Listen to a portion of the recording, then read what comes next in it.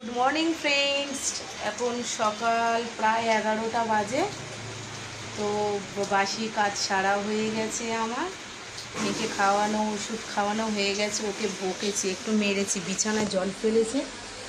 এই যে, দেখতে পাচ্ছ? জল ফেলেছে। ঘর দর গোছানো হয়ে গেছে। তার মধ্যে কী অবস্থা করেছে দেখো। বালিশগুলো সব সামনে দিয়েছি, যেহেতু জানালাগুলো পরিষ্কার করছে ওর বাবা। এবার বাবা খেয়ে দিয়ে বেরোবে, ওই সাড়ে বারোটার দিকে বেরিয়ে যাবে। তো এখন প্রচণ্ড বৃষ্টি পড়ছে, তো আমি রান্না বসিয়ে দিয়েছি, ওইদিকে ভাত বসিয়ে দিয়েছি, কচু সিদ্ধ দিয়েছি ভাতের ভিতরে, কচু আর একটু আলু শুকনো লঙ্কা ভেজে আর পেঁয়াজ ভেজে একটু কড়াই কড়াই নেড়ে একটু মাখা মাখা করব। ভাত দিয়ে ভালোই লাগবে। দেখো আরও জোরে বৃষ্টি আসছে। আর ওই কড়াই বসিয়েছি মেয়ের মাছের ঝোল মানে পাতলা মাছের ঝোল।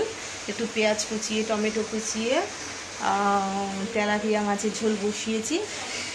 আর আমার এখানে আছে, কালকে সেদিনে মার বাড়িতে গেছিলাম কালকে। মা চার পিস ইলিশ মাছ দিয়েছে, ওই ইলিশ মাছটাকে আমি সর্ষে বাটাই দেখো শিল নিয়ে বসে আছি।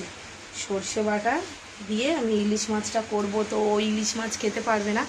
তাই ওর বাবা ওই দু পিস ওর জন্য মাছ নিয়েছে, ওইটাকে পাতলা ঝোল করে দিয়েছি।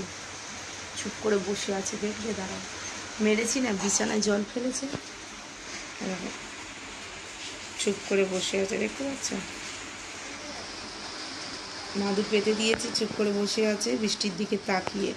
এখন কথা বলবে না তো। তো চলো, আমি দেখো, পেয়ারা পেরে নিয়ে এসছে। বাবা, পাশের গাছ থেকে খাবে বলে প্রতিদিন পেয়ারা দিচ্ছে কেউ না কেউ। তো চলো আমি রান্নাটা করে নিই। তো দেখছ আমার মেয়ের মাছের ঝোল। হয়ে এই মাছটা তুলে দিয়েছি। পাতলা মাছের ঝোল তেমন কিছু দিইনি। কচু, একটু পেঁয়াজ, একটু আলু কেটে দিয়ে দিয়েছি।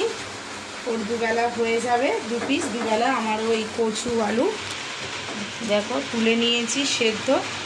এটা পেঁয়াজ কেটে রেখেছি, পেঁয়াজ দিয়ে করব, আর সর্ষে বেটে রেখেছি এই যে। এটা হচ্ছে ইলিশ মাছটা দিয়ে করব, এই যে চার পিস ইলিশ মাছ আছে, এটা দিয়ে করব। সর্ষে বাটাটা, এই দিয়ে খাওয়া হয়ে যাবে। দেখো পেয়ারা খাচ্ছে। বললাম একটু আগে পেয়ারা ফেলে নিয়েছে, পেয়ারা খাচ্ছে, ওর বাবা কি করছে? দাঁড়াও দেখাচ্ছে। ওই যে সব পরিষ্কার করছে, জানালা ফানালা সব পরিষ্কার করছে।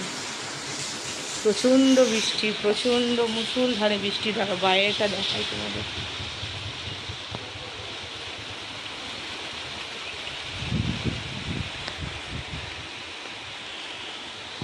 প্রচণ্ড বৃষ্টি, সাইকেলটা ভিজছে রে।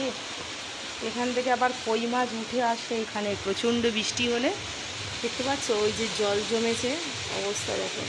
ওখান থেকে আবার কই মাছ এই সামনেটা উঠে আসে।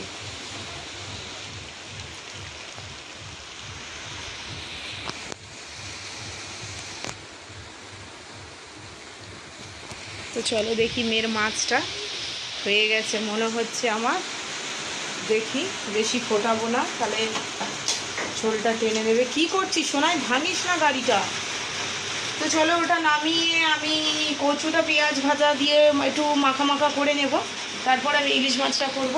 তো চলো আজকের ভিডিও এখানেই শেষ করলাম। ভালো লাগলে অবশ্যই লাইক করো। Tata bye bye